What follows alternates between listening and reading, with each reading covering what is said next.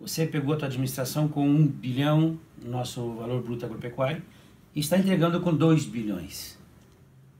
É, essa, esse cruzamento de números foi o motivador, principalmente, do investimento na infraestrutura urbana também, além da, da rural? Eu diria que tudo isso é uma, é uma conexão, uma junção de esforços, primeiro, de dedicação àquilo que se faz na economia, pelas forças da economia, de organização da gestão pública, a confiança que as pessoas têm no gestor público.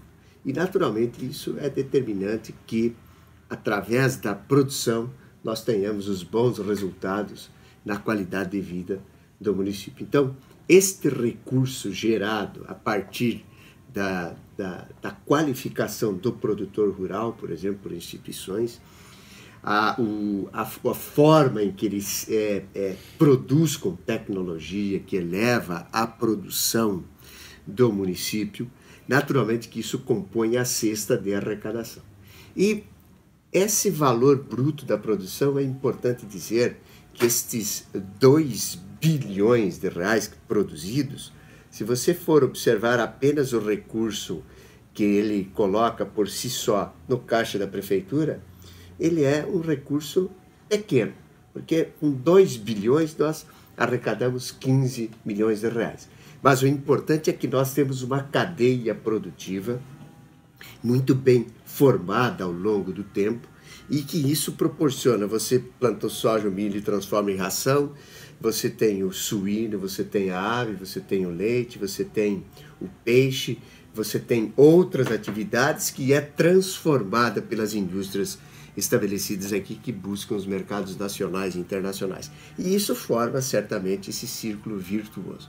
Por isso, o prefeito tem que ter a clareza de que é fundamental adotar uma política de apoiamento ao produtor é, no município. Por isso implantamos programas da agricultura de precisão, por isso melhoramos os condomínios de leite, por isso estabelecemos a, toda a conservação das estradas através do programa Solo Brita. Por isso, nós constituímos e modificamos o programa Rodovias Rurais Caminhos para o Desenvolvimento, que antes era chamado de asfaltamento rural, com uma pista estreita, hoje é uma rodovia. Então, isso tudo, e com outras ações que fizemos de conservação de solo e outros programas, fez com que o produtor se sentisse amparado pela administração e nesse conjunto todo uh, o clima ajudou, o preço dos commodities também ajudou. Então isso tudo compôs esse esse 2 bilhões que conquistamos no nosso governo, um aumento significativo. É, dobramos a, a produção do valor bruto da produção. E por consequência disso, o comércio vende mais, a geração de emprego acontece e esse processo todo da economia se estabelece naturalmente a partir da produção eh, agrícola e pecuária do município.